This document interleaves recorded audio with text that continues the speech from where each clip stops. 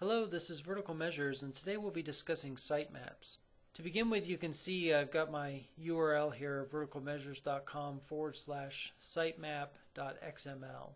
You can check to see if your website has a sitemap by going to your URL followed with the extension sitemap.xml or sitemap.txt. This will show you what an XML sitemap looks like and here you can see you've got the URLs listed as well as the priorities the change frequency, and the last change.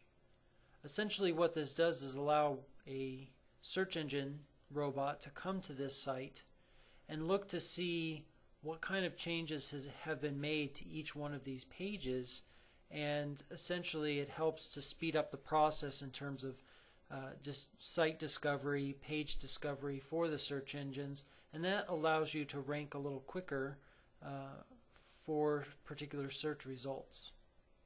It also allows search engines to find really deep pages within your site. So if you have, you know, tier 4 or tier 5 pages within your website, uh, this sitemap can help search engines to find that easier. The second kind of sitemap is an HTML sitemap. And here again you can see an example of it at this URL. And this sitemap is actually geared more towards our human visitors as opposed to search engines.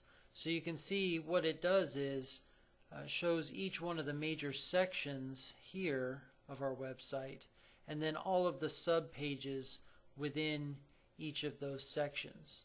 So it gives a nice little breakdown of uh, all the web pages on our site and depending on what a human visitor is looking for then they can go right to it. If you don't have a sitemap, you can basically build one very easily by going to this URL. As you scroll down, it gives you instructions. There's four simple steps. And basically what you would do is enter in your address and then change frequency.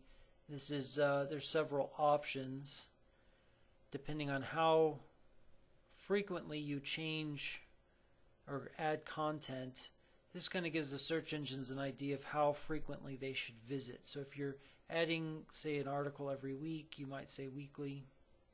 And then for last modification, generally I would use the server's response. And then priority, you would set maybe automatic priority. This allows them to calculate uh, the priority for your sitemap. And then you just click start. This will give you some results and the results that are given you'll have to download and then once you download them you'll have to upload them to your server.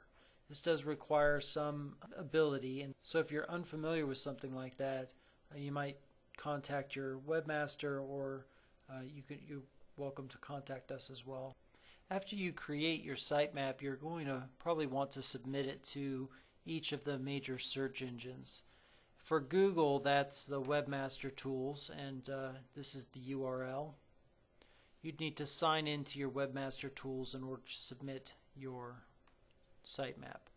The same is true for Yahoo. You can see here's the Yahoo address, and uh, here you would click on Submit Site Feed, and then you could submit your uh, URL of your sitemap here. For Bing, it's uh, the Webmaster Tools here. You would sign in. And then for Ask, you can go to their uh, this URL, and at the bottom of the page, it gives you a uh, detailed description of how to submit your sitemap via Ping.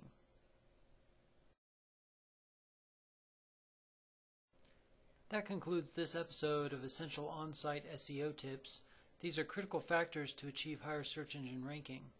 If you need help implementing your sitemap, or you'd just like more information on essential on-site SEO tips, please visit our address at www.verticalmeasures.com.